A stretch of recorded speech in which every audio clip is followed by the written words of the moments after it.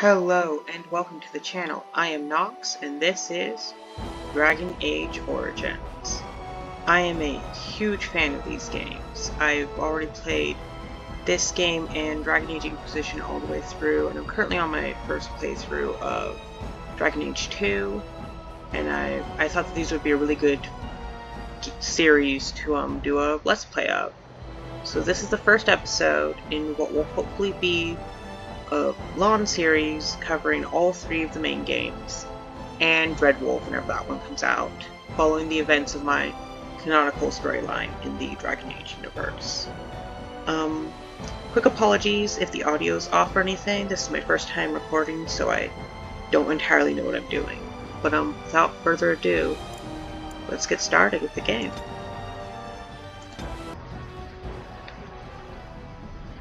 And so is the Golden City blackened with each step you take by hall. Marvel at perfection, for it is fleeting. You've brought sin to heaven and doom upon all the world. Canticle of Threnodies, 813.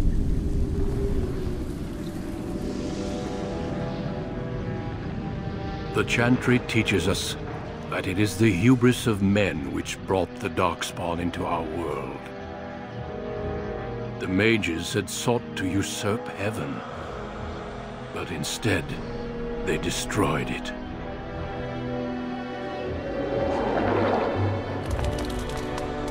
They were cast out, twisted and cursed by their own corruption. They returned as monsters, the first of the Darkspawn.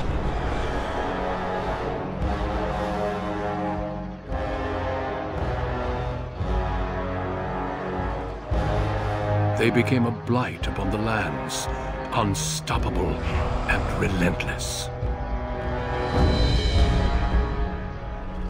The Dwarven kingdoms were the first to fall, and from the deep roads, the Darkspawn drove at us again and again until finally we neared annihilation.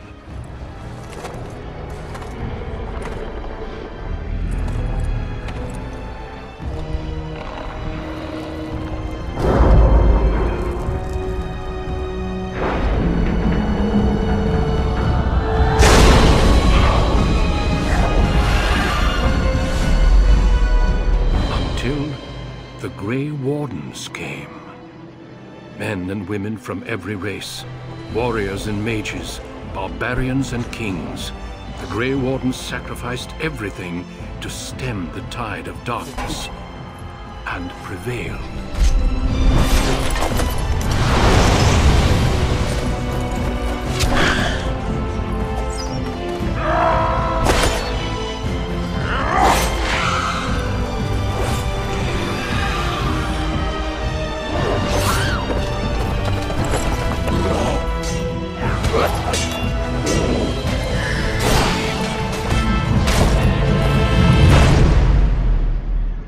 Been four centuries since that victory, and we have kept our vigil. We have watched and waited for the Darkspawn to return.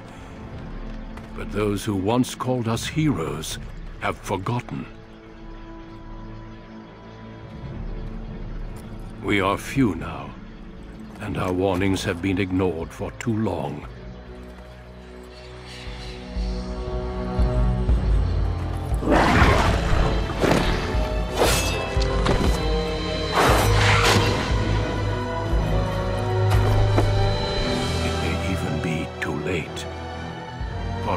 Seen with my own eyes what lies on the horizon. Maker, help us all.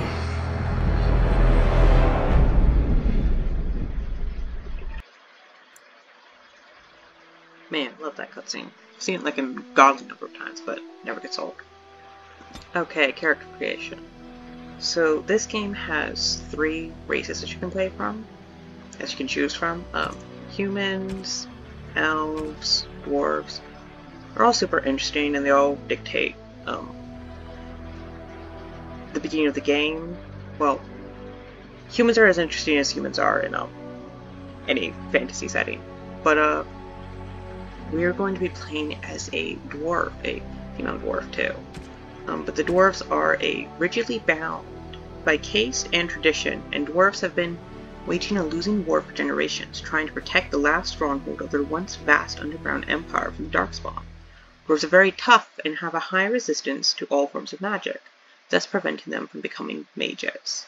Now, usually in games like this, I play as a magic class, because I enjoy magic, but for some reason in Dragon Age Origins, I've just never been able to play as a mage. I get far in the game and I don't understand why, so instead we're going to be playing as a warrior. Um, focusing on melee weapons, and just doing a bunch of damage. And we're going to take as our background the dwarf noble background. So we will be the favored child of the dwarven king. You proudly take up your first military command, only to learn that the deadly intrigues of family and psychopaths may pose a greater danger than, than even the battlefield. Alright. Now, luckily, if I remember correctly, my main canonical Grey Warden character was a just just use this preset. I'm pretty sure if I remember correctly. Yeah, it was just this preset with a couple of changes. Um, no blush. Where's that like? Yeah, no blush. Uh, lipstick was a bit. We got that orange color lipstick. Um, I'm just gonna leave the eyeshadow where it is. I know she had a tattoo. That was this golden, this golden color.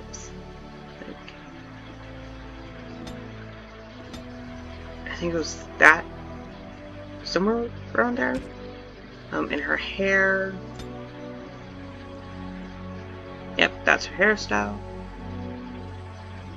And then it's just a bit more red. and then she's now I can't remember what I actually what her eye color actually is. I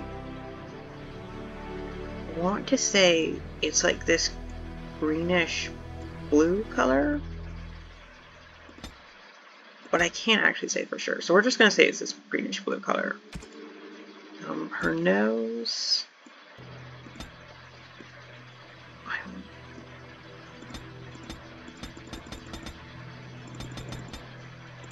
I'm pretty sure it's this one. Once again, it's, it's kind of been a while, so I don't entirely remember. I'm not going to mess around with mouth, jaws, cheek, neck, ears. It's just... This, this is good. Um, her portrait looks good as well. Yeah, yeah, that's fine. Um, voice-wise, Charmed. It didn't work. Well, now, this does nothing. sultry. That is our voice for Messenia Aeducan. Alrighty. So we have six attributes, yeah, six attributes that dictate just what the character can do, strength, how strong you do damage, dex. I think it's like, yeah, character's chance to hit, willpower, not necessary for me. Well, willpower is like how much stamina I have. Magic, not important for me. Um, cunning will be important because that dictates how persuasive I can be. And then constitution is just health. Um, this character, though, she just puts, we're going to put most of her points into strength, so we can deal a lot of damage, and two into cunning because, you know, she's a noble, so I want her to be effective at, like, intrigue and be persuasive when needed. Um, but yeah, besides that, um, we're going to get coercion, I think.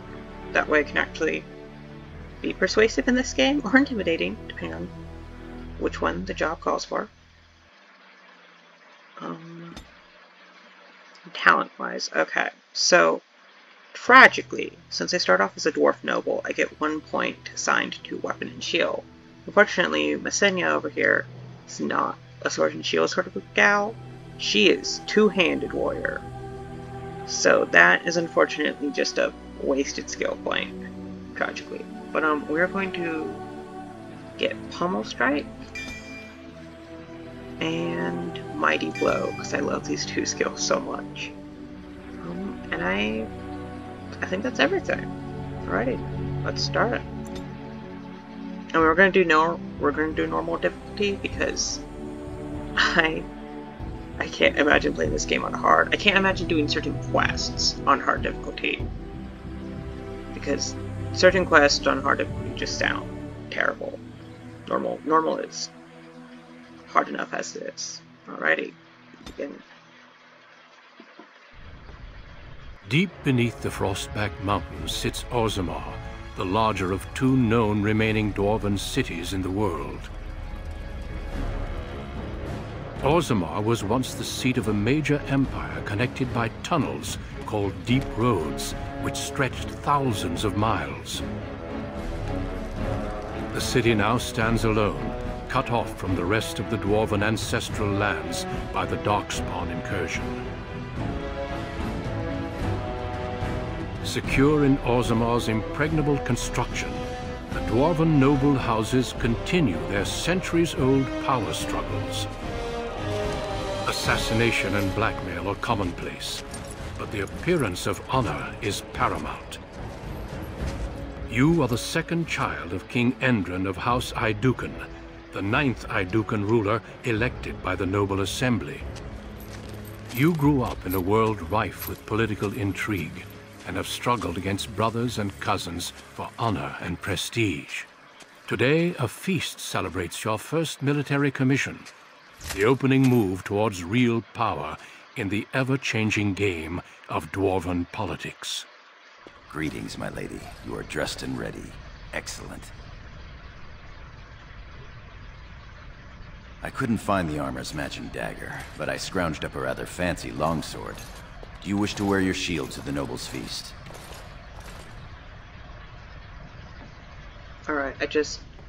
I love, um, the whole Dwarven politics and stuff. Um...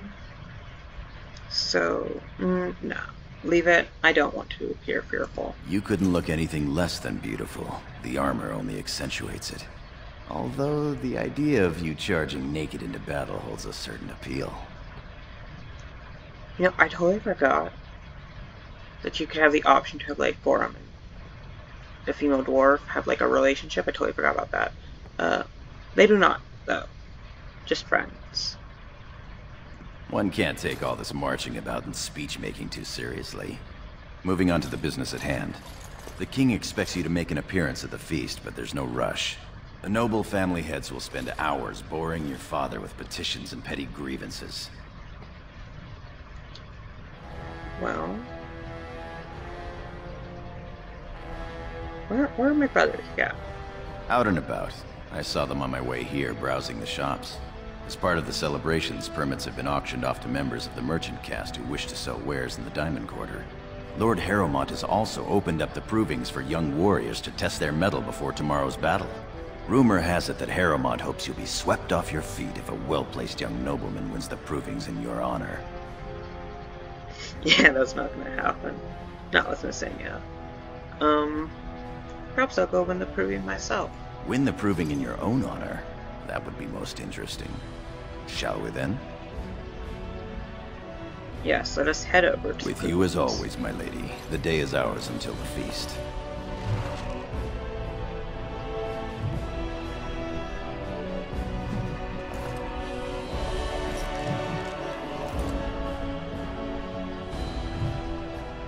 all the codexes. Cool, let's just see a game real quick.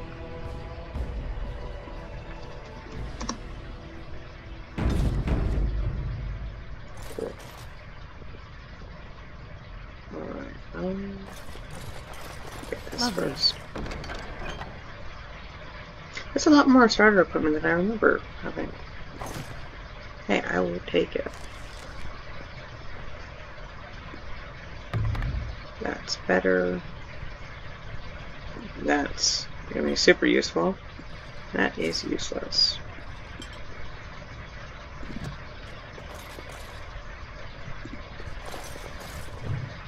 The crystal contains an image of the city of Orzammar. Interesting. Okay, that's just me. Five copper. That's, that's nothing.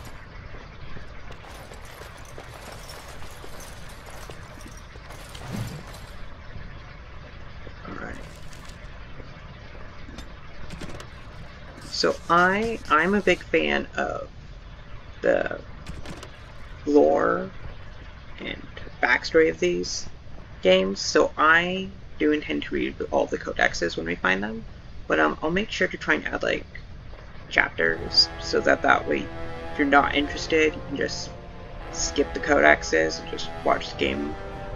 But um, the city of Orzammar. The dwarves are, laud are lauded for their craftsmanship, and the city of Orzammar is one of their finest works. Orzammar lies at the heart of the Frostback Mountains, deep underground. The city arcs outward from the royal palace, which is built around a natural lava vent, continually fountaining liquid rock, which both lights and heats the entire cavern. The topmost tier of Orzammar is home to the noble caste, with their palaces fanning out in both directions from the court of the king, as well as the Shaperate, which serves as a repository for all dwarven knowledge. The lower tier is the commons, where the merchant caste holds sway and where the finest works of Orzammar's craftsmen are for sale. In the center of the river of lava, connected to the commons by a causeway, are the Proving Grounds, a sacred arena where the dwarves, by ancient tradition, settle their disputes.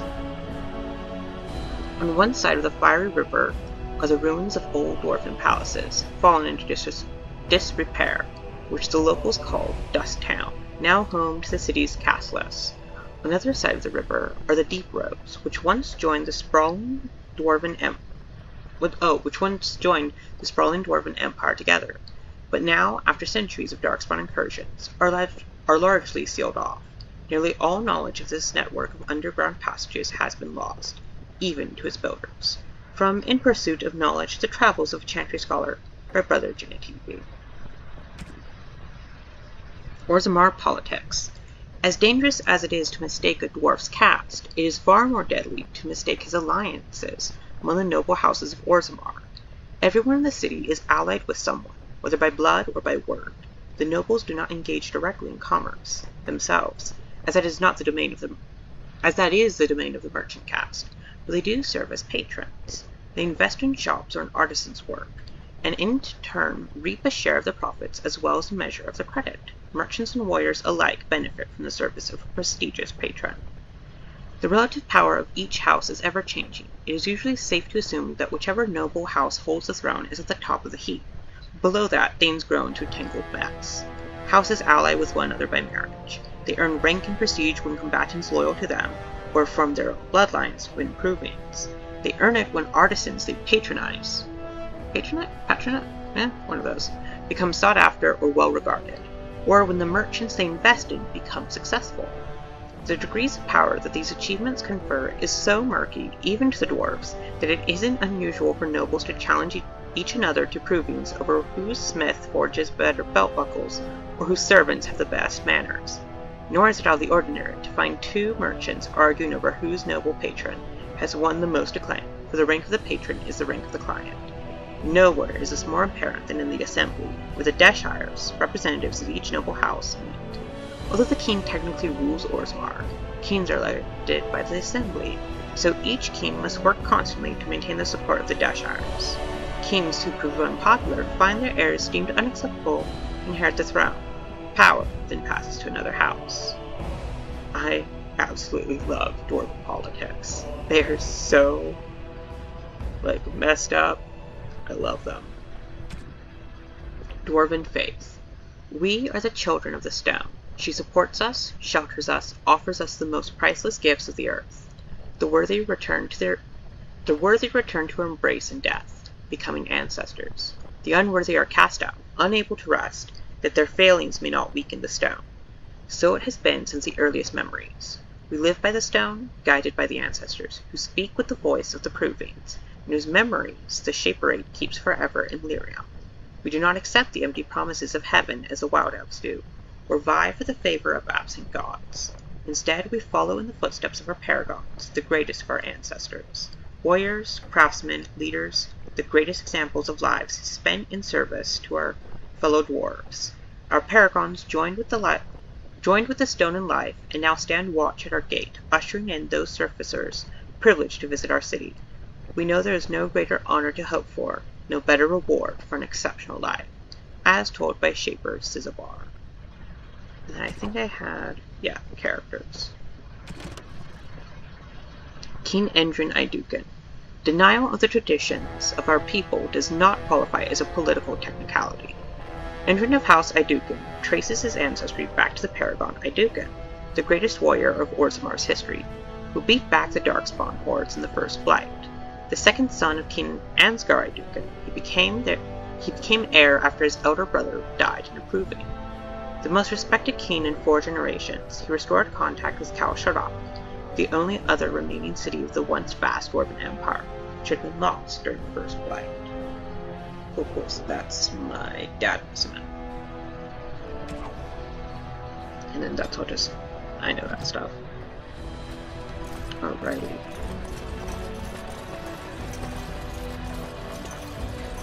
Anything in here? Okay. As you desire. I do know there is a, well, yeah. I knew that was here. Um, breathe on a bit. I am proud to serve the Aeducans. As you should be. Locked. Trian's room. Okay. Come in. Oh. Oh, I'm. I'm so sorry. Oh, don't run away. I. I'm sorry. I thought you were Prince Bhelen coming down the hall. I. Forgive me. Um. What are you doing in my brother's quarters? She's, uh, it seems she's one of your brother Bhelen's newest, um, companions. Prince Bhelen is attending the feast being held in Lady Aeducan's honor. Yes, of. of course. it was presumptuous of me to think that he would return to. I am sorry. I will show myself out. With your leave, my lady. Okay, I love these ones where I could just refer to Gorim, but I'm not. Um. Yes, you may go. Thank you. I will go now. Well, let's just pillage my brother's room. One more. What is it? Oh, that would be useful.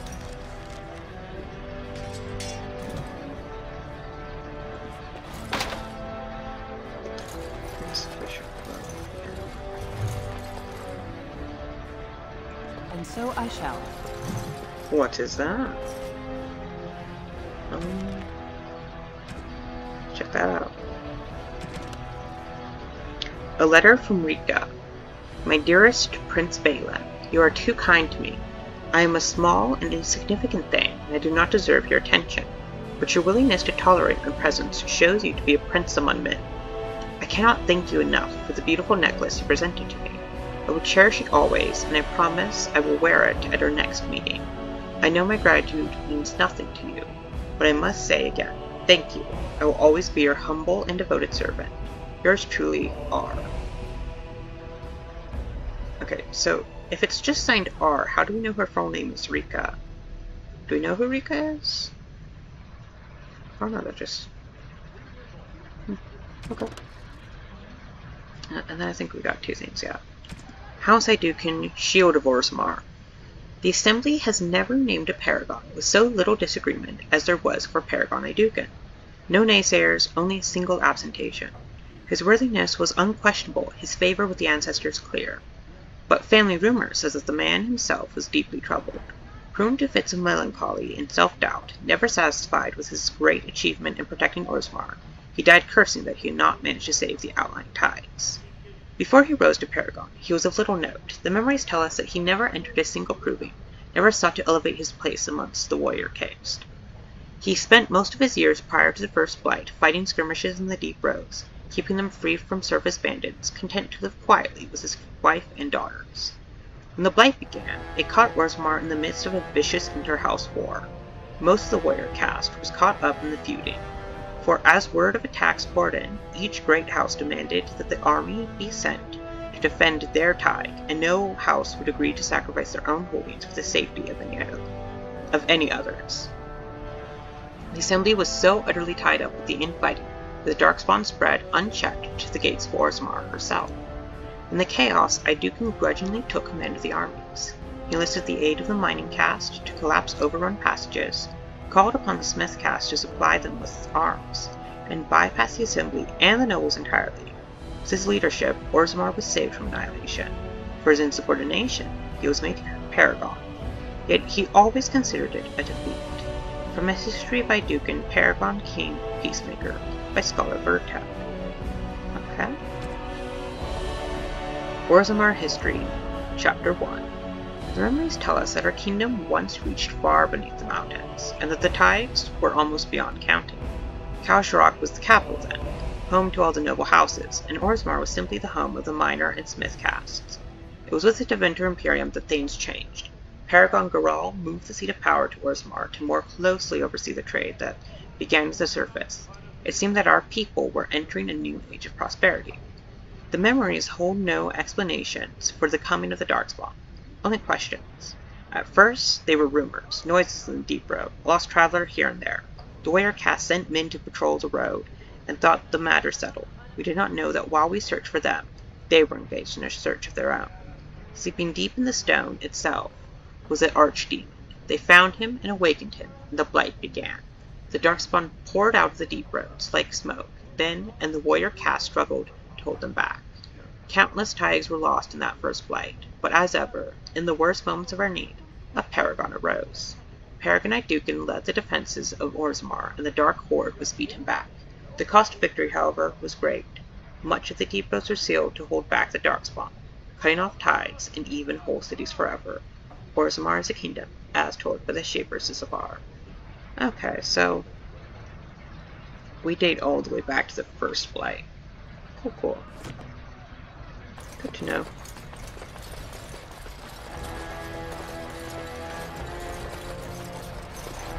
Ancestors watch over you, my lady. Good day. Congratulations on being named commander, my lady. Thanks. Well, all right. Locked. That's father's room. Yeah. I am at your service.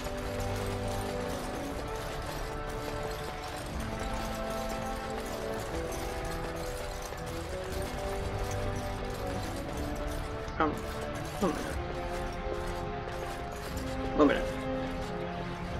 Are you guys? Yeah, that's the same exact character model. Okay. Haven't seen that one before. You sure you want to go to the feast now? I doubt we can escape to see the provings once we're inside. No, I was just turning to look at the door. I can't wait to see who's fighting today.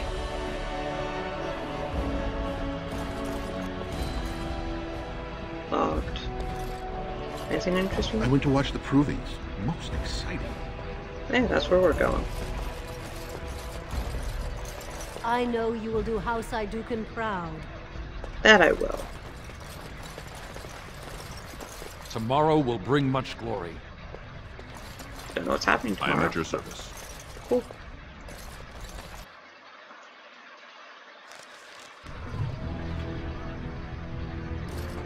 Father has allowed the merchants to show their wares in the Diamond Quarter during these celebrations.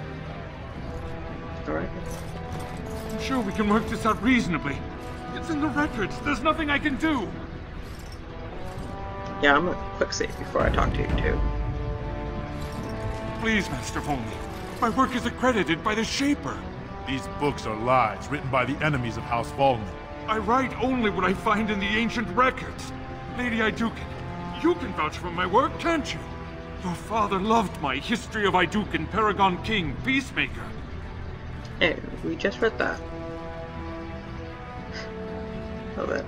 Uh, ah, I greatly enjoyed that book as well. This worm has written a book that slanders my house. What does it say? Uh, no, actually, this is a serious charge. He deserves to die for what he has written of Paragon Volney. Well, that's it's not. Oh, true. I didn't ask.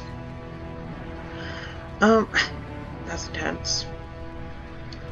What exactly has he written, Brunton? He says that Volney, the paragon who founded my house, known throughout the world as the greatest of men, was a fraud.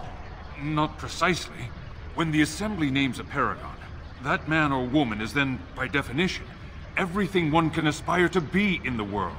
They form their own noble houses and are revered as living ancestors. But paragons start off as men.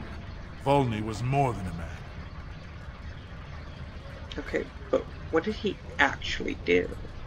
Get to the point. Why is Brunton so angry? Volney became a paragon by the narrowest margin in history. One vote. A vote mired in rumors of intimidation, intrigue, and outright bribery. The records of that vote are kept in the Shaperate and are a matter of fact.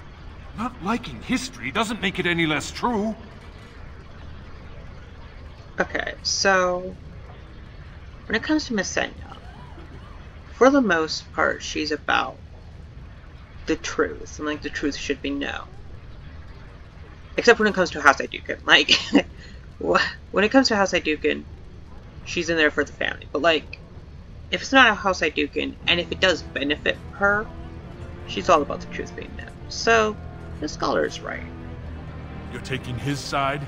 What if he published a book like this about your paragon Aeducan? As I just mentioned, never happened. Aeducan was a great man. Doesn't happen. And Volney was not? Must you disparage a paragon? You've made a huge mistake. That fool has no idea how weak his house is or how low he sits in it. Shall I have him killed, my lady? Interesting. Um...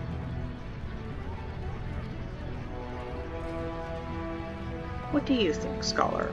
Well, historically, it has been prudent to eliminate a small threat before it becomes larger. Hey that, Gorim. Do the prudent thing. How do you want it done? Huh. Let's go quietly. An accident, preferably. Understood. You've shown yourself more daring and aggressive today than most believed of you. Someday I hope to write of the great exploits you are sure to perform. Word has been sent. He won't live past the hour. You've shown House Aeducan a friend to research, history, and the glory of our people. You remember this when you write of me. Of course. Heroism and pity for the small man have always been hallmarks of House Aeducan. Now, I must try to make sense of these notes. Good day, Your Highness. And thank you. Yeah, and the the reason why I did that quietly is because I feel like if I'd done it, if I'd given a reason for why I killed him, some people might speculate that, you know, the Aeducans are hiding something about their Paragon, and that it was done as a way to like sort of protect the Paragons. It wasn't. We're just removing him. That's the reason why it doesn't need to be known why he's killed.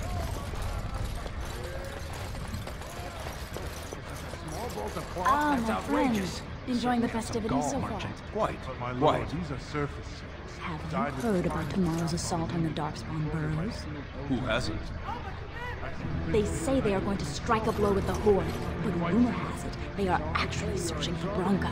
The Paragon? Why search? The ancestors have risen her up to join them. You don't think she's still out there? Impossible. My lord! Okay, that was like really rude being two two different um ambient dialogue. I don't know what you call that. Okay, well, they were talking about Branka being missing. That's what we're doing. On our quest, we're trying to find someone called Branka. He was talking about selling bad silk, I think? I don't actually know. My Lady Aeducan, you honor me by visiting my humble booth. May I show you my wares? I love this. Uh, Gorim, why is this man speaking to me? Because he has forgotten his place. A thousand pardons. Please, forgive me, your highness. This looks to be mostly fabrics from the human lands. These merchants form alliances with those who have abandoned our ways to live on the surface. How many of our people are on the surface? According to the scholars, more than 500. Does it matter? The surfacers are lost to us. Perhaps we should get going. Just a simple merchant. Nothing beats a good set of steel cutlery. Our trust follow, big sister. How surprising to run into you out among the common folk. Especially since duty requires that you attend our King Father at the feast today. Have you so little respect for him to disregard his wishes on a day set aside for you? Lord Harrowmont told me we wouldn't be needed for hours at least. Silence! If I want the opinion of my siblings second, I will ask for it. Yes, your highness. Forgot about Trian. for Gorim. Um, I, I want to stand up for Gorim, but like... That's not going to do us anyhow. I don't think that will help Gorim, because he is, you know, lower in caste, and the dwarves are very all about class and stuff. Uh, but no, we're definitely not going to do what Trian wants. So I go where I want when I want, Trian. Your lack of a sense of duty to your house is obvious. I can't imagine why you are receiving a commission. I expect after tomorrow I'll spend much time apologizing to the heads of the noble houses for the deaths of their children under your incompetent command. That's a bit harsh, isn't it, Trian? As heir to the throne, it is my duty to impart wisdom and judgment upon those who need it. Now then, you, get to the feast. Kiss my ass, Trian. I'd advise you to watch that tongue, dear sibling. Father will not live forever. Come, Bhelen. That was fun. Nothing like being talked down to by the next king. Okay, so like, Messenia probably does sort of have like a competition to the throne. Like she does aspire to take the throne, but she's not going to say this in public. So um, ignore him. It's my day, not his. That it is. Let's get back to enjoying it, shall we?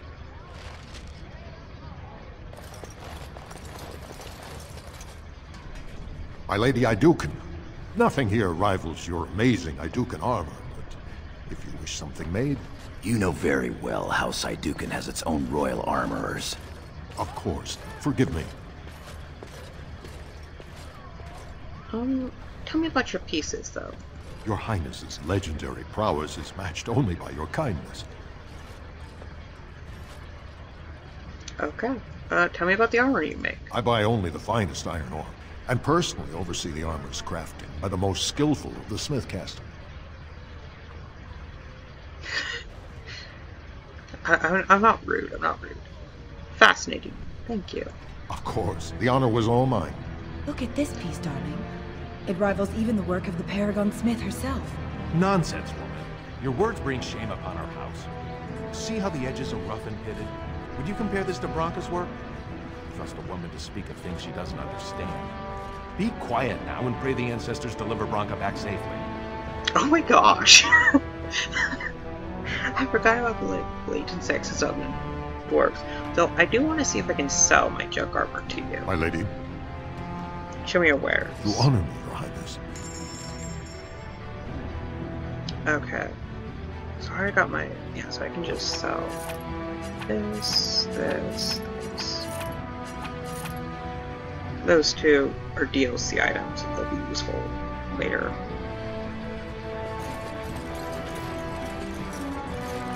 About that one? I doubt he's up to the task. I'm not going down that road. Oh, I would love to end up with a redhead.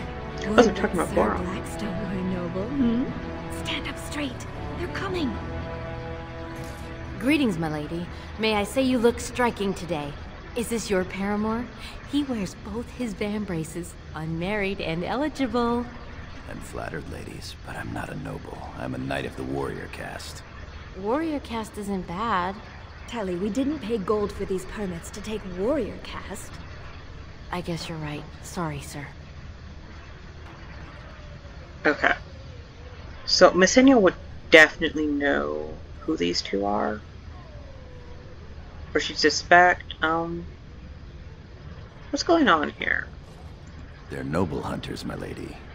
Because a man takes his caste from his father, they hope to bear a noble lord's son. If a noble hunter succeeds, she is raised up to join the house as a concubine to care for her son.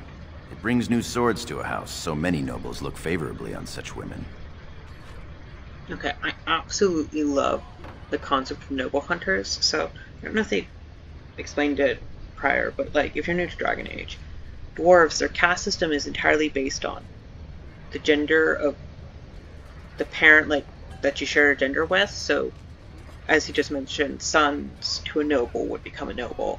But if one of these noble hunters had a daughter, they would stay in whatever caste these two women are. And I think I don't know, they're not wearing anything like significant. They could be casteless. I don't think they are. I don't know. They could be though. Um Object nobles only yeah, that is true, but how many Aeducans are there? There's like only that I'm aware of, there's only her and her two brothers, Bhelen and Trian. And you know, if one of these did become if one of these did bear an Aeducan child, she would then have them sort of loyal to her she was the one that recommended them, so we could certainly use more Aeducan swords. Then perhaps you'd tell your brothers to come say hello? Ellie, mind your manners. No, it's alright. I'll mention you. My lady is kind and generous beyond her duty. Once again, fascinating. Short bow, so bad. Small round metal shield, so bad. Five copies. Okay, so like I've been like playing like late game Dragon Age Origins recently, so it's all like big money. So seeing just copper pieces just just sad. Invest in the next great trade expedition. Greetings, my lady Aeducan.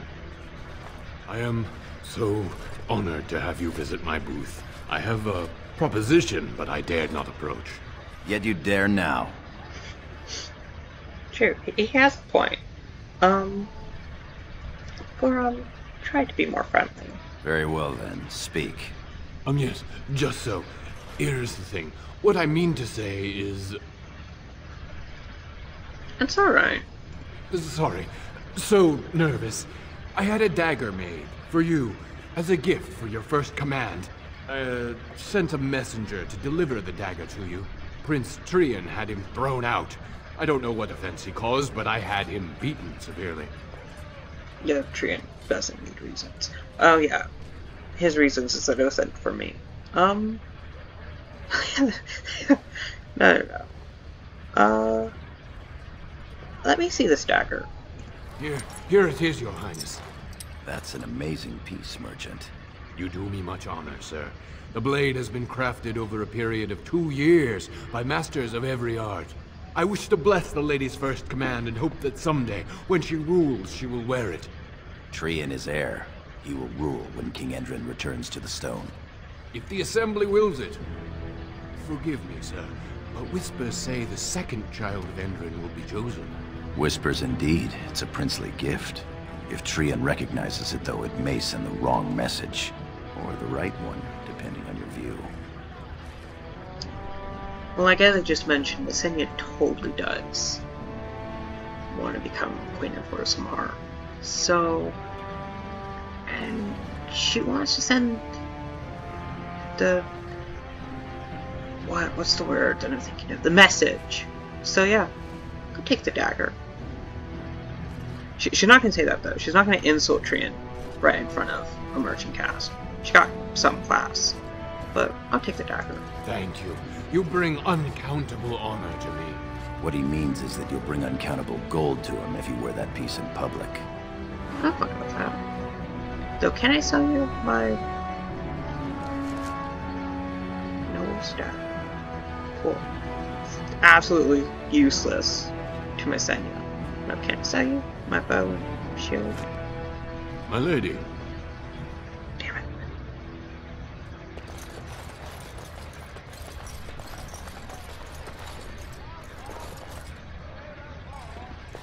My lady. You honor me, Your Highness.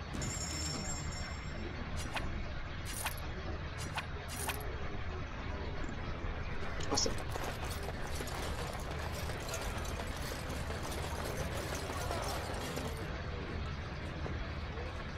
What? You're just a mer- What is a magic merchant doing in Orzammar? Oh, Lady Aeducan, here, in my booth. I am so... Oh. Fainted. You make quite the impression these days. Is it hard to be the king's child, never able to just blend in? Um, I don't.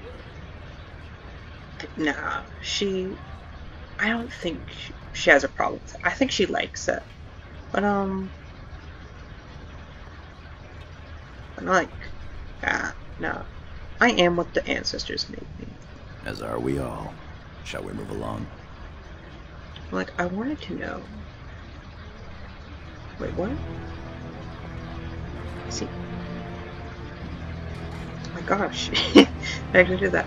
Like, I wanted to know what this magic merchant was doing in a place where, you know, because dwarves can't use magic. Can I still interact with him? He appears to be unconscious. No, he's so. Okay, interesting. My lady, are you heading to the proving arena? Yes. I intend to watch the provings. Or I could just refer to Gorim. Huh.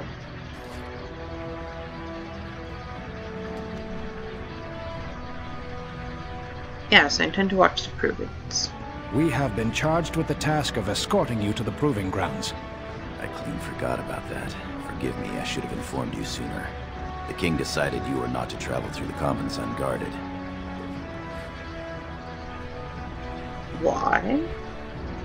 I did mention the merchants that won permits to show their goods in the Diamond Quarter. There were only so many permits auctioned off, and quite a few were turned away.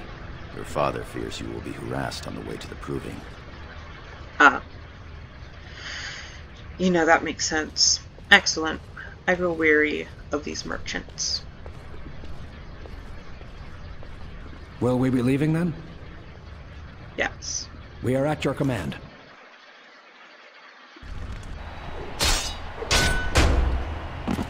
Thank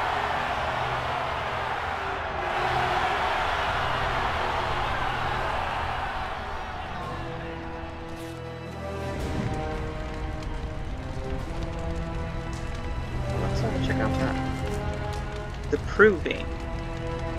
Valos Atrenda, in the 23rd year of the reign of King Ragnan Aeducan, an old man of the servant caste was accused of stealing a sapphire ring from his employer, Lord Dace. The servant was stripped of his position, he and his family thrown to the streets, and soon after, the servant died. The son of the disgraced servant challenged Lord Dace to a proving, declaring that his father had been the victim of a cruel injustice, and the ancestors would bear him witness. Lord Dace had no choice but to accept. On the sacred stone of the proving ground, the noble man faced the servant boy. Lord Dace carried a sword crafted by his own hand and was clad in his great-grandfather's armor. The servant boy had neither armor nor weapon. When the battle began, the boy fought like a whole pack of angry deep stalkers, flinging himself upon the startled lord, wrenching the sword from his hand, and prying at his armor with bare fingers. Oh my gosh. The boy locked, the boy knocked Lord Dace to the ground and beat him until the lord begged for mercy. The boy and his family were reinstated to their place in the Dace household, and the virtue of the boy's father was not questioned again. The ancestors had spoken, and no question, and no one well, let's repeat that one. The ancestors had spoken, and no one questioned their word, as told by Shaper Wartag. So that's two Shapers now. Oh, and we had Life in, or of, in Orzammar. I totally forgot about that one. The dwarves of Orzammar are quite unlike those found in most human cities. Although Orzammar derives its vast wealth from trade with human kingdoms, all dwarves who come to the surface to trade are stripped of their position in society. Dwarven merchants are so ubiquitous in human cities that many people labor under the impression that all dwarves are merchants, or that their whole race worships coin trade. But these surface dwarves are atypical creatures, the ones willing to give up all ties to their kin and sacrifice their rank in order to conduct business. Below ground, the dwarves are a people obsessed with honor, their own and that of their family. Most nobles incorporate chainmail even into formal gowns, because slights and insults often turn deadly. They are a people who revere excellence and strive to achieve it in all things. Even members of the servant caste have been elevated to paragons, usually posthumously, in recognition of remarkable service. Interesting. No, I don't think I've ever seen like pictures of, you know, chainmail dwarven gowns. That, that's interesting. Right here. Let's see what the Privy Master has to say.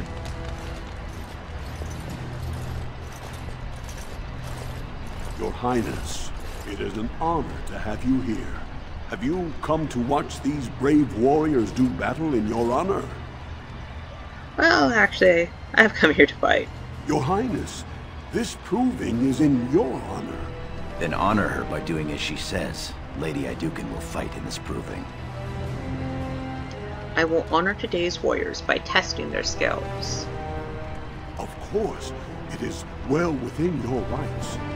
Men and women of Orzammar, we have a late entry to these provings, held on the eve of battle for the honor of House Aeducan. I give you the Lady Aeducan herself! Are you ready for your first match? ready, eager, hungry. And let us begin! This is a glory proving, fought under the watchful eyes of the paragons of Orzammar, for the honor of House Aeducan. Lady Aeducan will fight Alair Bimo, youngest son of Lord Bimo. You honor me with this match. The honor is mine. First warrior to fall is vanquished. Fight! Okay, combat. So we're gonna start off with the pommel strike because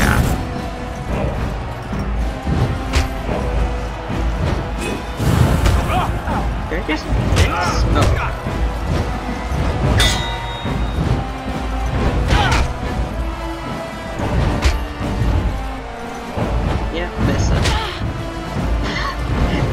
misses in a row. Yeah. Okay. Oh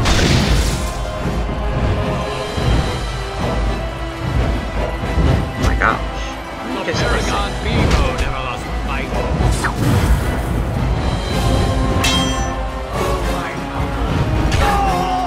It's terrible, Messiah. The winner is Lady Aeducan.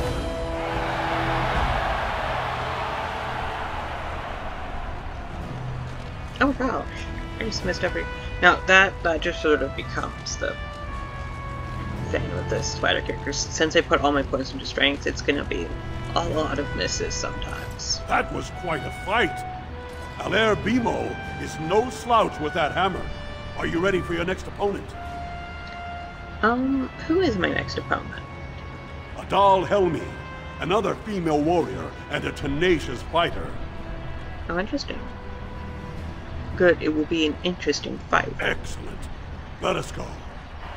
This is a glory proving, fought under the watchful eyes of the paragons of Orzammar, for the honor of House Aeducan.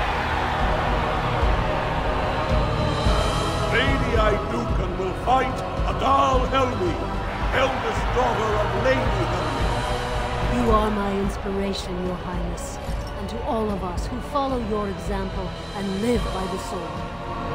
Hey, ain't that the chick that was fighting in the little cutscene? Uh, thank you. First warrior to fall is vanquished. Fight! Okay, let's go into some She's a I she's a fighter. She's just Precision Strike? That's a fighter ability. A rogue Oh, it was way better the second. Where's that skill earlier? Aeducan.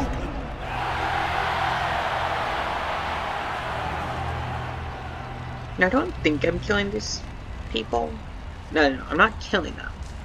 Hopefully. I don't... I'm just injuring them. That was a crowd pleaser. I can't remember the last time we had two female warriors of such skill. Sir Blackstone is your next opponent. Are you ready to face him?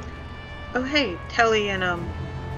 Maddie? Marty? The, the noble hunters were talking about Sir Blackstone. What can you tell me about him? One of the best of the warrior caste.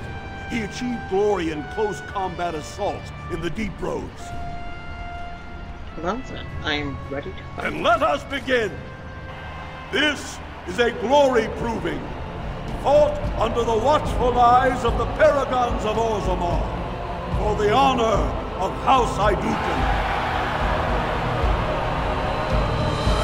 Lady Aeducan will fight Sir Blackstone, Deep Road Squad Leader of the Warrior Caste. This is your education, child. Try to learn as you bleed. Now, okay, the other two ones were all like honor and stuff. This dude wasn't. So, um. she she's honorable, but like for him, I don't know. He called me a child. I'm like, I guess I am younger, but uh, nah.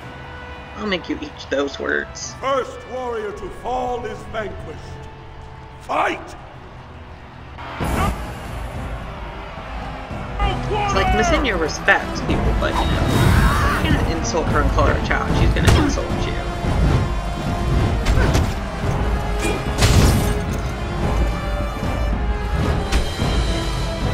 You know, you probably strike me else under arms. Once again, verified that first Winner one. is Lady Aeducan.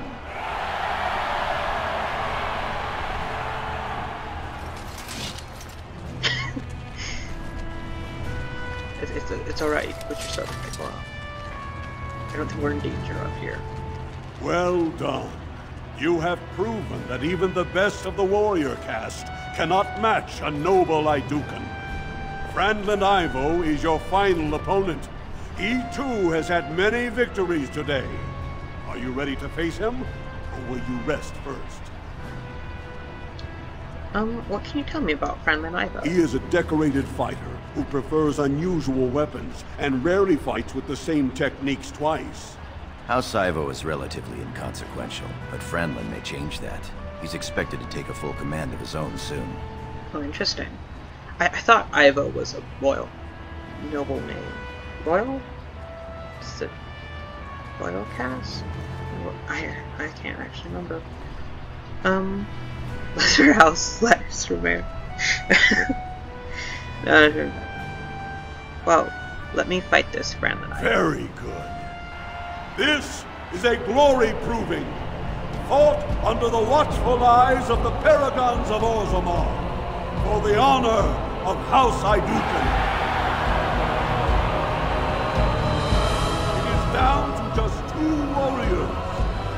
Backbones of stone and wills of iron. They have defeated all others this day. Lady Aeducan will fight Frandlin Ivo, second son of Lord Ivo. You fight well. I wish you glory today and glory tomorrow. Hey, he's a second child like I am. Um, may you be a stout. First warrior to fall is vanquished. The victor is champion. Fight! That is right.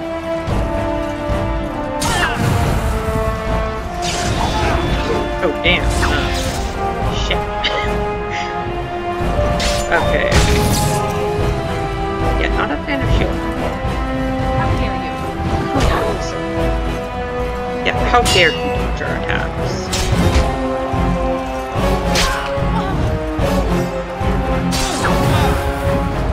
Glory will be mine.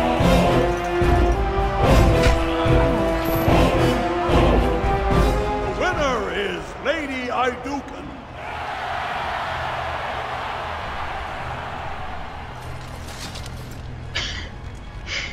Oh, it's just amazing. I love little like that. Okay, Gorim. Put your weapons away. Gorim. There you go. Congratulations! Frandlin Ivo is as fierce a competitor as I've ever seen. You vanquished every warrior of note in today's proving. The ceremonial helm, commissioned by your father for today's winner, is yours. Hmm.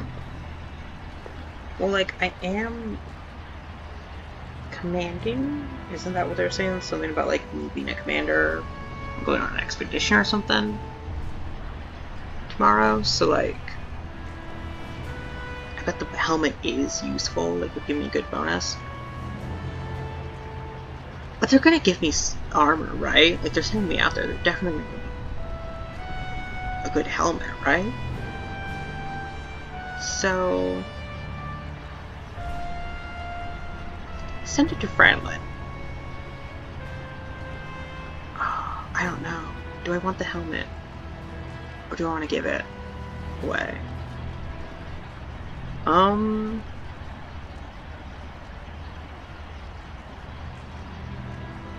Yeah, send it to Frandlin. He fought bravely. The people will remember your honor and generosity for all time. Hey, and it makes me honorable. We're all about honor. Right. You know what? I wonder if Gorim has anything to say. Good showing there, my lady. Your opponents will be licking their wounds all eve. My lady? I don't you take a bit. Now. I am ready to leave. Your wish is our command. Okay. He didn't have something to say. Does he have something to say out here, though? My lady. He does. Like, I assume Messenia knows about Gorim's family, but, um, I don't. So, tell me about your family, Gorum. Not much that you don't already know. My father's father was a great hero of the Deep Roads excursions and raised the family to the top of the warrior caste. He was even nominated to join the assembly and found a noble house, but the honor was in the nomination. He wasn't afforded a single vote. My father served your father for many years, and now I serve you. Interesting, interesting. Wait. Does Gorm have, like, other siblings? Or... Is... Or should I just get Gorm's like... Gorm's father's only kid was given to Endrin? My father's, like, uncle, like... One minute. Let me gather my thoughts. So, Endrin had Gorm's father as. Oh no, wait, no, no. He didn't say second, but let's let's like assume Gorim's father was like a got almost. He was his name was put up to be a noble house. Because that means he was like a prestigious person. He was, he was a good warrior because he was at the top of the warrior caste. Let's say that if Gorm's the only known person of this family that I know of, Gorm Saelac, if he's the only one that I know of, and then Endrin assigned Gorm Saelac to me as my second, and not to Trian, is that part of the other reason like Trian hates me? Because Gorm was assigned to me, like, is it like an insult of some sort? Or am just looking way too deep into this? I'm probably, probably just looking way too deep into this. But anyways, are you excited about the battle tomorrow? Yes, I yearn to face the Darkspawn and prove my worth as your second. I'm not going to say these. Will be spectacular or you'll do fine. I don't know, you do fine kind of sounds condescending, like you you'll do fine. But will be spectacular just sounds like, you know. I don't know. Eh, let's go with you do fine. May the stones support us, and the ancestors look down with pride. As you will. I was probably looking way too much into that into that answer. You know. We're Dragon Age games, if not to look way too in depth to a single choice. or just BioWare games as a whole. You have a fancy shield. Congratulations on being named Commander, my lady. Do you have any extra dialogue? My thanks. House Aeducan is blessed to have you.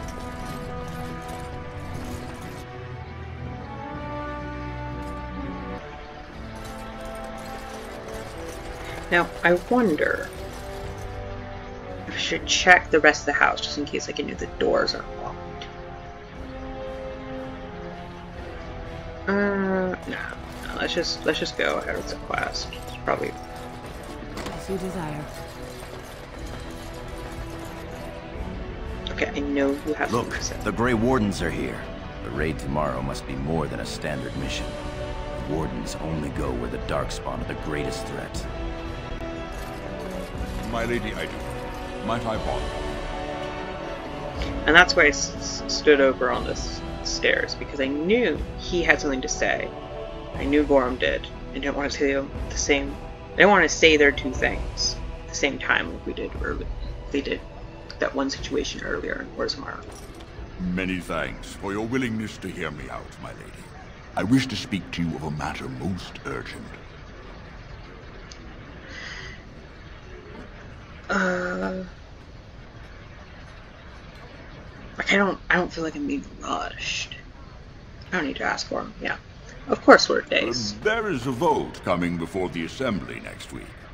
And a word from you could go a long way towards helping our cause.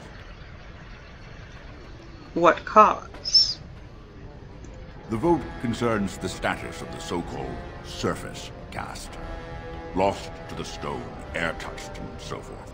Centuries ago, narrow-minded men declared that any dwarf who left to live on the surface forfeited his caste, and his house if noble. That he was, in essence, no longer a dwarf. I seek only to remedy an injustice, to retie the bonds of anyone who can trace himself to one of the noble houses wherever he may live. Please, agree to speak for this noble cause. Okay, interesting. So, I remember this was like sort of, you know, a tough decision, but I'm pretty sure when it came to Messenia, her view on the surf, her view on the surface dwarfs is that they are, they're still dwarves. Like, she, she doesn't exactly have a problem with them. And she doesn't exactly have a problem with their, you know, live on the surface, which isn't, you know, a very traditional idea when it comes to dwarves and stuff. She's she's a bit different in that sense, but um yeah, so but she's not she's not just going to help him for nothing. Cuz she's political. Like she she I doubt she's ever expressed his opinions cuz she does want to become like, you know, queen. And the assembly wouldn't look kindly upon that. So what do I get in return? Now, why so interested in this particular cause? Those on the surface are our lifeline. They facilitate trade with the surface. They're honorable and, uh, well, let's be honest. I don't care a whit for those who have wandered from the stone. My wife, however, is a gem of a different color. She has a cousin, a useless sort, but she's quite fond of him. He joined a speculative venture to the surface, hoping to make his fortune, and went bust. Now he wishes to come home, but he cannot, for he has no house and would be castless. For my wife's sake, I take up his cause. Will you lend me your voice? What do I get in return? I love, I love that he's just forthright with the reason. I keep my ears to the stone, my lady. I hear many things, some of which could be a great help during your mission tomorrow. A little forewarning to help your forearming, if you know what I mean. I have a deal. What do I do? Once again, she she gets something out of this, and she always sort of agrees with that. When your father presents you to the noble houses, I will ask for your opinion on the matter. You have merely to say that you feel our surface brothers should be returned their noble rights. What could be more simple? Ooh, castes. Sweet. The Castes. Visitors to Orzammar should keep in mind that the hierarchies of Dwarven society are much more complex than our own. It is easy to gravely insult a man simply by mistaking his position. Since this can lead to unnecessary loss of life and limbs, I will attempt to mitigate the danger for my fellow travelers. The society of Orzammar is divided into nobles, warriors, smiths, artisans, miners, merchants, and servants. I do not recall that there are that many castes. Now, you're undoubtedly saying to yourself, we have all those divisions among our own people. This is a dangerous misconception. Certainly, we do have nobility, artisans, merchants, and these positions are, large, are largely inherited from our parents. However, the younger children of noblemen often choose to be artisans or soldiers. The sons of merchants may join the army, become servants, or apprentice themselves to a craftsman. This is all freely chosen, limited perhaps by the circumstance of birth, but still chosen. What is a matter of choice for most human folk is dictated entirely by birth for dwarves. No one may become a smith who is not who was not born to smith caste parents. A servant who marries a noblewoman will never be a noble himself, and although his daughters would be nobles, his sons would be servants, for daughters inherit the caste of their mother, while sons inherit the caste of, caste of their father, at which I said earlier I was unaware that there would be a caste codex for some reason, which, like, obviously there would be. And of course, it's on Man, Religion TV. Okay, interesting. Interesting. Any interesting thing with these nobles guys said? You know your name has been mentioned in the assembly. Yes, I am aware. May the Paragons watch over your command. Hopefully they will. I have not noticed that hallway before. Uh, let's talk to Duncan. Greetings, my lady Aeducan. It is an honor to meet you at last. The honor is mine, Warden. I have had the opportunity to recently meet with your father. He speaks highly of you. He says you may be the most skilled warrior in all of House Aeducan. My father does me great honor. I have no doubt it is deserved. We need more Grey Wardens like you, and quickly. Even as the Darkspawn weaken here in Orzammar, they are stirring on the surface. A blight has begun.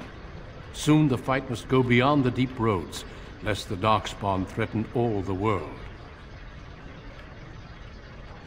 Uh, unless anyone say that. Um, that's kind of cruel. I do not know as much as I should about the Grey Warden. You know of our dedication to destroying the Darkspawn, our frontline presence during a blight. What else would you know?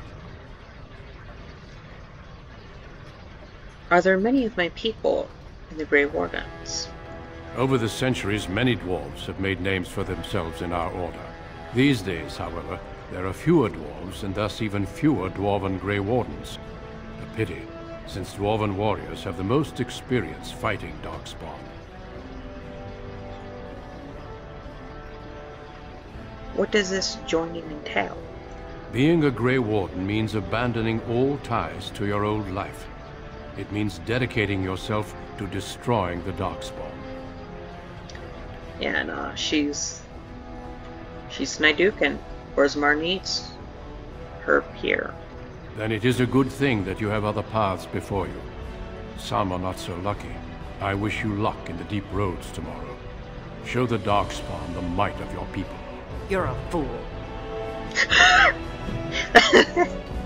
oh, that was so amazing and uncalled for. oh my god, I love that. Okay, I'll read the codex first, then I'll talk to you, Lady Holly. Oh gosh, that was amazing. Uh, oh, it was a character one. Okay. The Grey Wardens. The first blight has already raged. Oh no, no, I don't start that one off badly. The first blight had already raged for 90 years. The world was in chaos. A god had risen, twisted and corrupted. The remaining gods of Tevinter were silent, withdrawn. What writing we have recovered from those times is filled with despair, for everyone believed, from the greatest archons to the lowliest slaves, that the world was coming to an end. At Weishaupt, what Weishaupt? damn it, I can never remember how to pronounce that. At Weiss, at Weishaupt fortress in the desolate Anderfels, a meeting transpired. Soldiers of the Imperium, seasoned veterans who had known nothing, their, who had known nothing their entire lifetimes except hopeless war, came together. When they left, when they left Weishaupt, they had renounced their oaths to the Imperium. They were soldiers no longer, they were the Grey Wardens. The Wardens began an aggressive campaign against the Blight, striking back against the Darkspawn, reclaiming lands given up for lost. The Blight was far from over, but their victories brought notice, and soon they received aid from every nation in Thedas. They grew in number as well as reputation. Finally, in the year 992 of the Tevinter Imperium, upon the Silent Plains they met the Archdemon, Dumat, in battle. A third of all the armies of northern Thedas were lost to the fighting, but Dumat fell, and the Darkspawn fled back underground. Even that was not the end. The Imperium once revered seven gods Dumat, Zazikel, Toth, Andoral, Razikale, Lusacan, and Urthemiel. Four have risen as archdemons. The Grey Wardens have kept watch through the ages, well aware that peace is fleeting, that their war continues until the last of the dragon gods is gone. From Ferelden, Folklore and History, by Sister Petrine, Chantry Scholar. Interesting, interesting. I kind of wish they told us which of these seven had come back as archdemons. The Blights. My dear Anika, I would not worry about the assembly, but the nobles sit together and argue over whose house owns the grandest tithe. It keeps them from panicking, which they would surely do otherwise, and prevents them from making a greater nuisance of themselves. War is the business of warriors. I would say that the enemy's strategy seems to be changing, but they never appeared to have a strategy before, beyond destroying everything. For weeks, their numbers appeared to be dwindling. There was talk that perhaps we were getting close to wiping them out. We could not have been more wrong, for today we came on, we came upon the body of their main force. I cannot give words to it, Anika. I have never before seen so much death in one place. There are darkspawn beyond counting, and at the heart of the of the throne a great beast, as tall as the palace of Orzammar, with breath of fire, a paragon of darkspawn. Perhaps, for they seemed to pay it def deference. They were leaving. They were leaving, marching towards toward the mine shafts which lead to the surface. But I knew when I beheld them that once they had devoured what lies above us, they will be back. From the letters of Paragon I Aeducan. Hey! Eh? Okay, so I wonder if you would pick like a different race if the blights change. Like who, if this one changes, I don't know. Because I know, like, depending on your origin that you take, you find different codexes. So I wonder if this changes or if it's always Paragon Aeducan. Duncan. Men and women from every race, warriors and mages, barbarians and kings. The Grey Wardens sacrificed everything to stem the tide of darkness and prevail. Like many others, Duncan gave up his family name when he joined the ranks of the Wardens, a symbolic gesture of cutting ties. You might say this was a convenience in his case, however. His mother was from the Anderfels, his father from Deventer. His childhood was spent in the free marches in Orlais. His people were everywhere, and his homeland was nowhere. He was given the almost impossible task of leading the Wardens of Ferelden, a kingdom, that, a kingdom that had thrown the Order out 200 years earlier, facing local suspicion and hostility, he set about fighting recruits. Cool, cool. Lady Helmi, uh, let's let's let's discuss how. Your mother would melt the stone if she knew what you just did. Excuse me? Lord Dace is playing you false. Go ahead, be his puppet. Your first command will be marked by every major house turning their back on you. I'm... You know, I'm not... I'm listening. Last spring, a guild from the Merchant Caste invested heavily in an expedition with a guild from the surface. Lord Dace backed the Merchant Guild, pouring a great deal of money into the venture. The expedition was a disaster.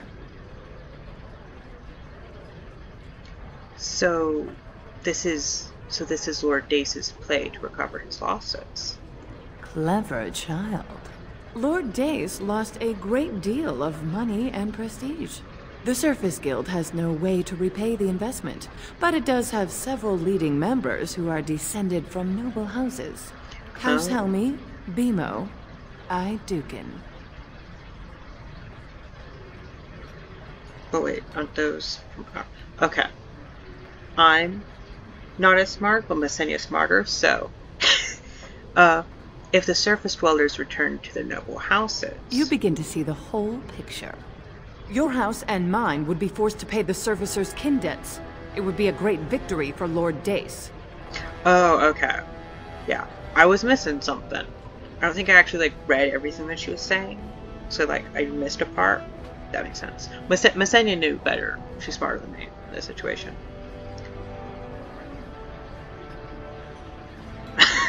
so intense. Fine. Let Lord Dace think he he's fooled me. Just so, my clever friend. Smile and nod, and when he asks his question, tell him that the so-called Surface Cast are right where they belong. That should take Lord Dace down a peg or two. Thank you. You're welcome. Remember this when my house needs your assistance.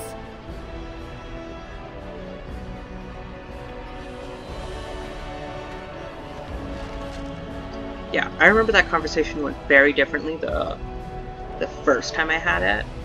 I was first playing this, but you know, I, I remember bits and pieces of this game this time. You know, Messenia like knows how politics and stuff work. She's she's a noble's daughter. My king, please reconsider. Trade contracts alone could bring great prosperity to our houses. Will we really turn our back on our brothers and a potential fortune in cheap labor because of a political technicality? Denial of the traditions of our people does not qualify as a political technicality. There is more to life than monetary gains, my lords Bimo and Mino. The Assembly of Kal Sharok will respect the rule of Orzammar, or they will rot and die alone, surrounded by enemies. Yes, my king. But look, we have company to spare us further wrangling. Atrast Vala, my sweet daughter. How fine you look in your grandmother's armor. I hear you were declared champion of the Provings. I suppose you were never one to sit by when something exciting was going on. Are you ready to be presented to the heads of the noble houses? Okay, so that's cool to know that I'm wearing my grandma's armor. Of course, father. So dutiful. Very well, let us begin. Lords, ladies, grant me a moment of your time. We are here today so I may present to you my second eldest child, blessed by the stone and born of the blood that ran in the veins of the Paragon Aeducan. Who would pose a question to the prospective commander? Who seeks to know the prospect better? I have a question. I seek to know the prospect better. Lord Dace, head of House Dace, speak. Lords, ladies, my question concerns the plight of our wayward kin, the so-called service caste. What does the Commander Prospect think is the proper place for these lost souls? Well, in truth, no. She thinks they deserve to be considered as dwarves. Alas, Lord Dace, you have tried to fool the wrong person. Now I could just like straight up super insult him. Uh, which isn't that one, it's the surfacer dwellers are less than men. But she's gonna stay with the, a steady one, which is they should be respected, but no more. Are you satisfied, Lord Dace? Do you feel you have learned something about the prospect? Yes, my king. Then if there are no other challenges, I give you Orzammar's next commander. Well, there are way more Tomorrow, our newest commander will lead part of a mission to strike a great blow to the Darkspawn. Not only does this recover access to some of our most important mines, but it also allows our honored guest Duncan, head of Ferelden's Grey Wardens, to strike far into the deep roads. Thank you, King Endrin. While the Darkspawn seem to withdraw, It is only because they are massing on the surface. This could mean a blight, and my men and I will discover the truth. We are honored to have you with us, my friend. Now, feast, drink, and celebrate, for the morning brings battle! As for you, my new commander, find your brother Trian and send him to me. He may be watching the provings, or getting some rest in his rooms. Now, is definitely not a fan of this, being sent as messenger, but she's in front of everyone, so she's going to be respectful. Of course, Father. Walk well, Commander. Look, there's so many dwarves in that cutscene. I'll just go. Vanish. Anything interesting you to say? Good luck to you tomorrow. Your father is very proud of you. Congratulations. If it isn't our newest commander, congratulations, Your Highness. May the ancestors grant us victory against the Dark Spawn. What happens if I talk to you again? Quickly, find Trian and send him to me. Anything you guys have to say? May House Aeducan grow in strength and power. I am at your service. My lady. Well played with young Brinton. Hey. Wait, Brinton? Good to see you. Oh, the, the dude I assassinated. My lady. I totally forgot who Brenton was. I am oh, so that's how you service. pronounce his name. Where, where did... Where did Helmi go? She just... She vanished. Cool. I suppose you're proud of yourself. You underestimated me. That is the way the games of the Assembly are played. Next time, I will think more of you. If you'll excuse me, my lady.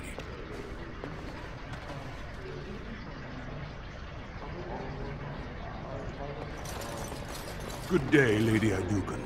You wait, aren't you the guard that, like, I saw duplicates of? Yeah! Oh, that's fine, I've never actually noticed that. Okay, but before we go and get Trian, who's way over there, I'm gonna go and investigate the rest of the place to see if I can find any loot.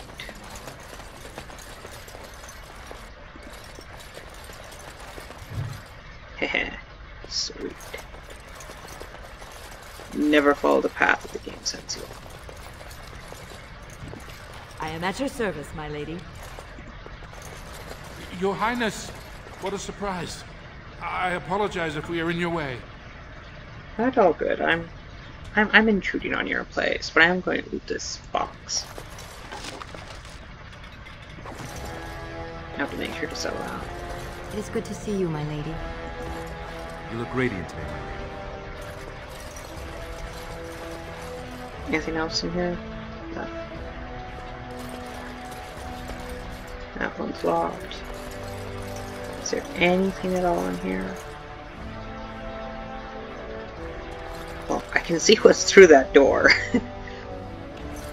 that one's also locked. Okay. Um, anything you guys have to say now? To see days fall flat for once. Now, I highly doubt Lady Helmi's doing this all for my good. Like, I, I wouldn't be surprised if she's shady. I know you will do House Aeducan proud.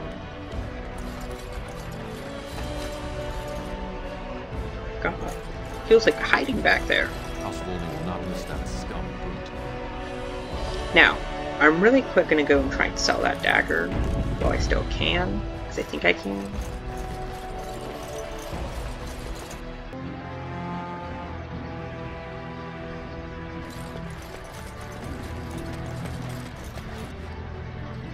Okay, so I just sold the um the little dagger I found in the box, the the grease trap, just because you know they're not useful to me. Just while I still can, but I I I'll probably cut that out in the editing, just because it's it's not exciting. I just I I've never noticed these repeated guards before. Like I wouldn't be surprised there are repeated guards elsewhere, but like usually they have helmets and stuff. So I don't notice it. Like yeah, like these two guys got helmets on, so you I can't quite tell that they're repeated. Still locked. No sign of trouble here.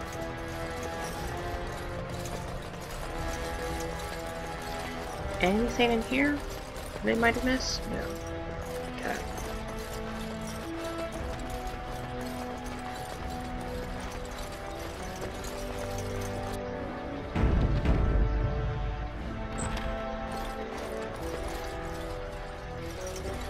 Now, before I talk to you two, I'm gonna just, uh...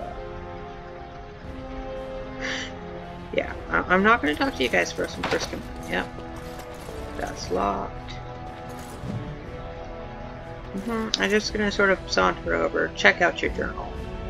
Anything of use before I talk to you guys. Okay, now. So you are a commander now, in name at least. Shouldn't you be attending our King Father? I could get right to the point, or I could... Yo, Bhelen, how was your day? Interesting. I would have been at the feast, but Trian had need of me. The world does not stop and start with your meager achievements. Not even tonight. Now, do you have some purpose in bothering us? I just love the fact that like he's talking and he's like he asks a question I can just totally blow him up and just be like, Yo Bhelen, how's life?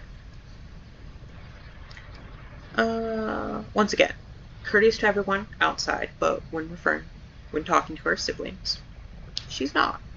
Father's worried you're too much of an ass to be prince. You push your luck. Bhelen, get to bed. We have a big day tomorrow. I will see what our father wishes from his heir. All day I've put up with that He can really grate on the nerves. I like Bhelen. Uh, I agree. And what I'm going to tell you next won't make you any more fond of him. You sound serious, Bhelen. Unfortunately, I am. Trian has begun to move against you. I never thought his much proclaimed honor would allow him to actually act on his jealousy. Big sister, Trian is going to try to kill you. Dude, I love how Gora moves like Network Detective stands. Okay, so I don't think Mesenia, like... Yeah, I don't think Mesenia quite expected this. You know, she she might have contemplated it sometimes, but like, she was sort of just going to let the Assembly dictate it, and I don't think she ever thought that he would do this.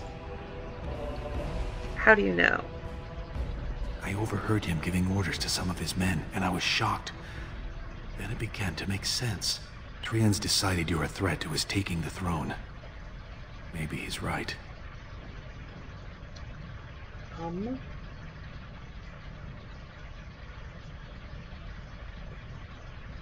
True. I, I, I don't like these options. Like, I don't feel like any of them are exactly what Mesenia would say. That, that doesn't happen often in this game, but sometimes it is like... Because she knows, she knows she's a threat. But, I don't know, I don't, I don't like number twos. Exactly, I don't exactly like it, but I sort of more see it as being like, because I don't know, I feel like it's very like, yeah, he is terrible. Like, I don't know. I'm not a fan of it, but it's it's the closest one we got. So, true. Trian's...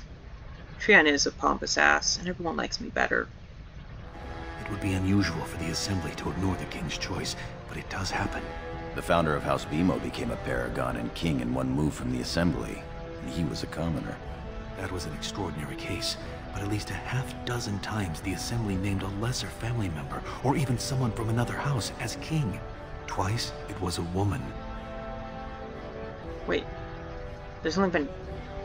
Is he saying there's only been two occasions of the Queen of Orzammar? Or that only twice has this have they chosen someone besides the heir as a woman? Like, there's not only two Queens of Orzammar, right? There is that. Wow, that's dwarves. They're fun. So, um, well, I would make a good ruler. You entered the provings held in your own honor just for glory and to please the crowds. If you win glory against the Darkspawn tomorrow, it will only strengthen the case for you as the next heir. Trian Veer's father will replace him on the spot. If not, the Assembly will surely turn against him when father dies. You know his pride will never allow him to step aside.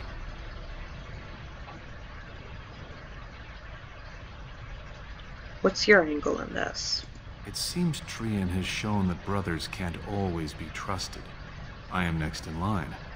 If Trian succeeds in his plot against you, how long do you think I'll live? Okay, yeah, good point.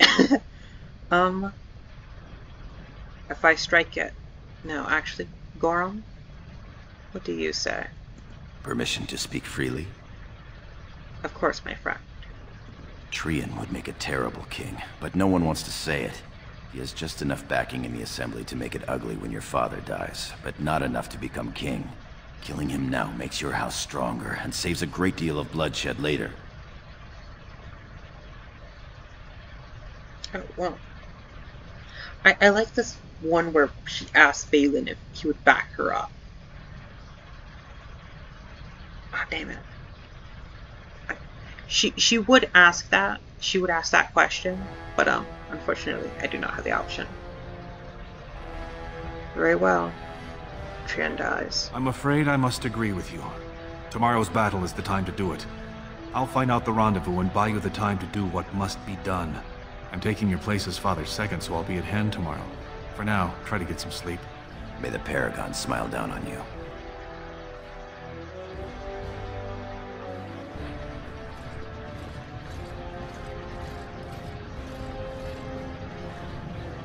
Trian and his men will clear the way for the Grey Wardens to descend into the easternmost caverns. Those caverns are still infested by the worst of the Darkspawn. We cannot risk our own troops in there. Understood, Lord Harrowmont. We should be able to sense the Darkspawn and avoid them once the way is open. May the Paragons favor you, and the stone catch you if you fall. Come then! Glory awaits! Bhelen, you and your men will second the king, clearing the main road. Don't you think it looks a little cowardly to allow these humans to take our place where the fighting is thickest? Are you questioning the battle plan? Of course not. I'm sure your caution is for the glory of us all. Enough, Bhelen. Take your men and make ready. Harrowmont and I need to have words with your sibling. Good luck, my sister. Your father has a special mission for you. In the eastern deep roads, there is a secret door carved into the stone. The door leads to a thaig, abandoned long ago by your ancestors. The Darkspawn have made it impossible to reach. My father believed that the shield of the Paragon Aeducan remains in that thaig, under the stones of the central room. Reclaim the shield, and glory will be yours.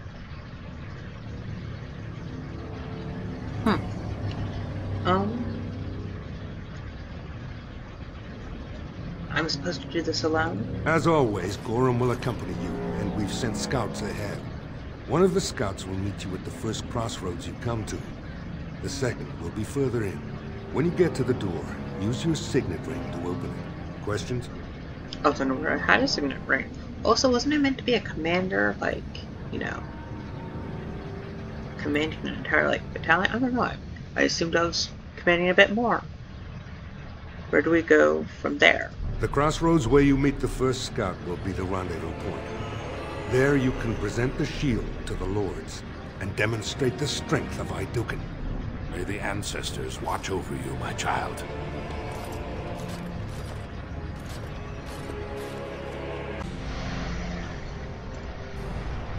Well, cool. Unfortunately, we will not be doing that. Because that is the end of the episode. Um, if you stayed this long, thanks. Maybe consider leaving a like if you enjoyed the video.